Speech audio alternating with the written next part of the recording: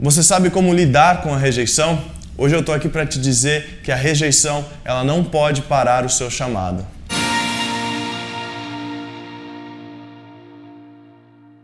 O livro de Mateus, capítulo 10, versículo 14 diz: Se não os receberem bem, saiam daquele lugar e na saída sacudam o pó das suas sandálias.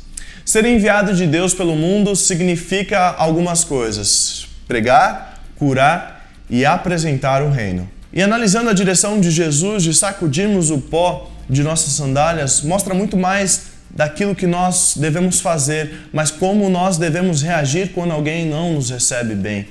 Nem todo mundo vai nos receber de braços abertos. Então, eu faço uma pergunta aqui: como lidar com essa rejeição?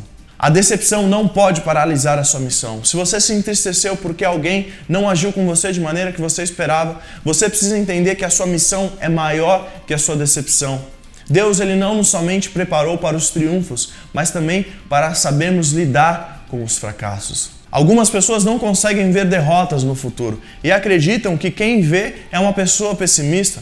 Mas o otimismo do cristianismo é capaz de ver sim as dificuldades, no entanto, enxerga em Deus a capacidade de resolver essas dificuldades. O otimismo de Cristo vê uma grande tarefa, contudo, não fica cego às dificuldades. Não apenas acredita na vitória, mas sabe se levantar dos momentos ruins, dos fracassos. Não contempla apenas o sacrifício, mas sabe também contemplar a glória da recompensa. Não saia sujo de experiências ruins. Bater o pó de nossas sandálias significa não deixar que essa sujeira, essa rejeição pare você. O futuro precisa de um passado bem resolvido.